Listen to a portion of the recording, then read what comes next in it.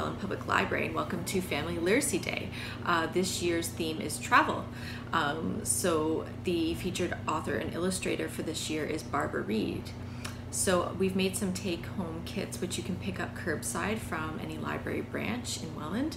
Um, and what's included in the kits is the official Family Literacy Day guide, which has loads of activities in there.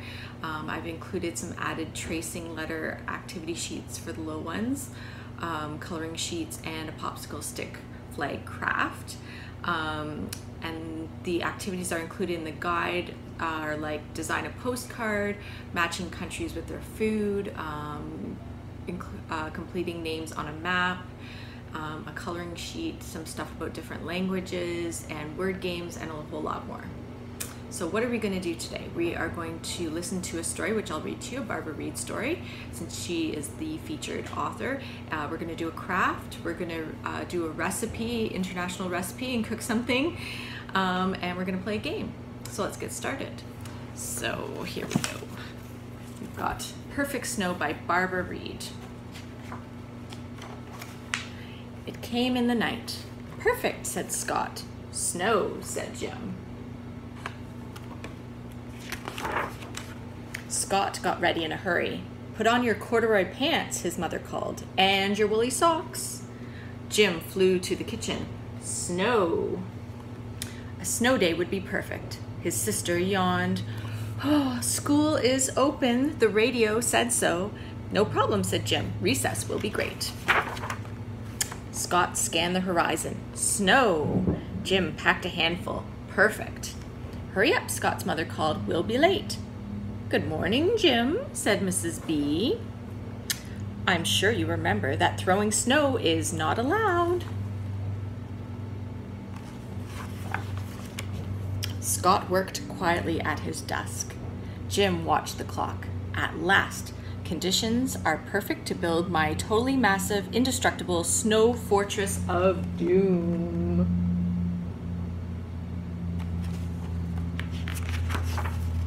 The recess bell set off a stampede. Kids swarmed the snow like ants and dropped like ants on a dropped ice cream cone. Jim claimed a spot and started construction. Scott fought his way to the edge of the crowd.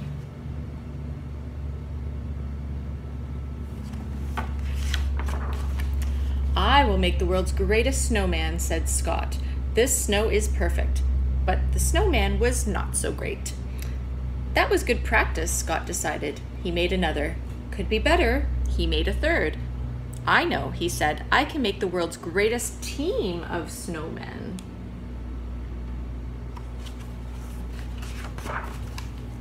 Building an indestructible fort was not so easy. More snow. Everybody wanted more snow.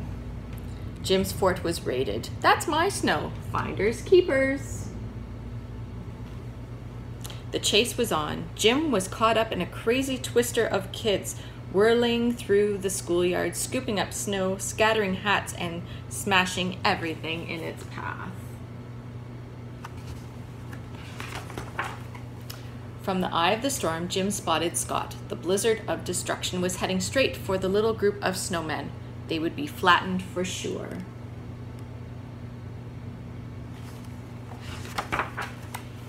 In a flash, Jim jumped clear of the mob and yelled, Here comes Mrs. B.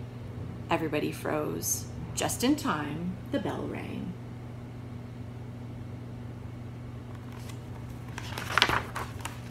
At lunchtime, Scott got back outside in a hurry. Nice snowman, Jim.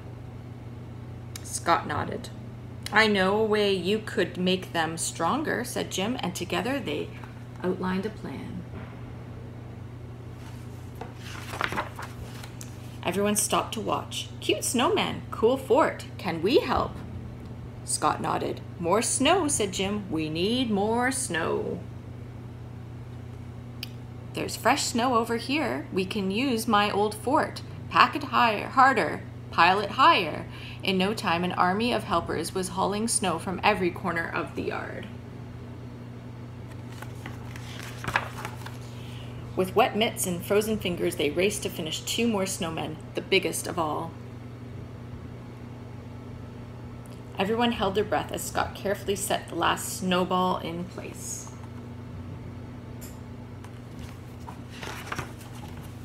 The world's greatest totally massive snow fort, Jim announced. Scott tossed his hat into the air and the crowd went wild. It was all Mrs. B could do to herd them back inside when the bell rang. The whole school smelled like wet boots. At the end of the day, the boys watched over the snowmen.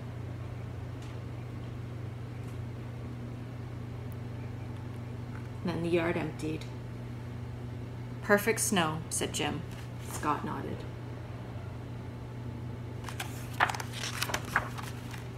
It rained in the night.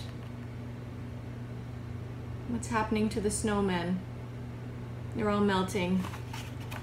Oh dear. Slush, said Jim. Excellent, said Scott. so that's a fun story. Hopefully we'll get some more snow soon. And what's really neat about Barbara Reid's illustrations is that they look like they're made out of Play-Doh.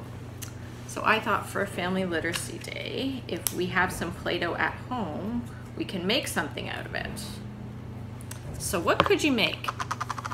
Let's do something easy. Now, my name is Heather, so I'm going to make an H. So I've got some dough here. Any kind of Play-Doh, homemade, store-bought, whatever you've got, and you could make something and take turns. There's an H for my name. There we go. So we could do anything really. I always try to make a chair and it always falls over. It never works out. I try that every time. So that's something we could do together and you can do that at home. All right. Another thing we could do is I have some leftover um, popsicle stick puppets that my son colored. I used them in a story time and we could draw pictures and create a story together. So I've created a little one since the theme is travel. I've got a bird, little birdie, and a, that is a reindeer. Hmm. Anyway, so bird and reindeer are friends and they felt like they needed a vacation since our theme is travel. So they decided they were going to fly on a jet to a tropical island. Wouldn't that be nice right about now? Where they are going to eat some cupcakes and make lemonade. Yum yum. There's my little story. So we could do a picture story together at home. Draw a picture and then tell a story. All right, what about our craft? So in your craft kits, I included some regular popsicle sticks. And the intention is to make a flag. So I used hot glue, but you can make it out of liquid glue as well. And so I've got about five going across and one for the back, and then you can color them. So I've colored this one um, red and white for the Canadian flag, um, but you could use markers, crayons, worked pretty good. I used a bit of both here, and you can do any flag. You can look in the guide and see if you see any flags that you like. If there's any from your family's background, you could use those um, and your favorite flag and or try something new. So that's a fun craft that we can do at home. All right. Are you ready for our recipe? So um, you can read a recipe book and create a recipe at home. So we ran a food program a few years ago and with some kids and they liked making uh, fried rice. And it's pretty simple and I've done some steps ahead of time. So let's see how this goes. Okay, so I have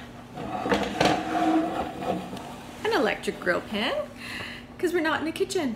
So how do we do this? Okay, here's my ingredients.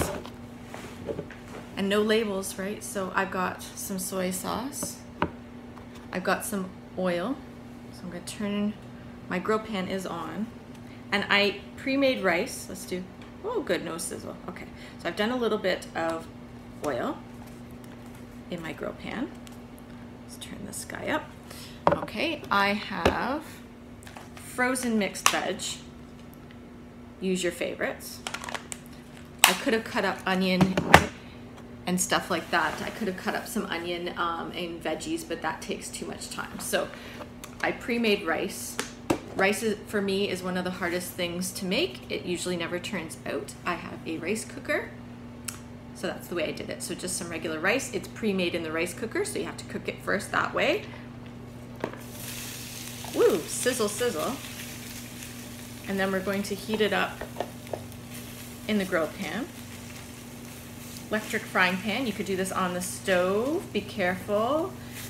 If, um, you know, kids are there helping, that's awesome. My kid usually loves to help me cook. Um, but we got to watch when things are hot, right? So we've got our rice in there. And we're going to add our frozen mixed veg. You could also add, um, if you want it more Asian style, you could do a scrambled egg. You could add meat like chicken if you want, or you can just do vegetables and rice, which was pretty simple and hopefully the kids will like it. They seem to in the food program. Um, so let's do that. So this is sort of like Asian style fried rice. And you just keep stirring it around. We can add a little bit more oil to the pan and you can follow along with the recipe and reading a recipe is a good thing to do for Family Literacy Day. So a little bit more oil. Oil of your choice. Watch out for when it's hot. And you just keep stirring it around because the rice is already cooked, right? So you're just heating through the vegetables and cooking those and heating through the rice.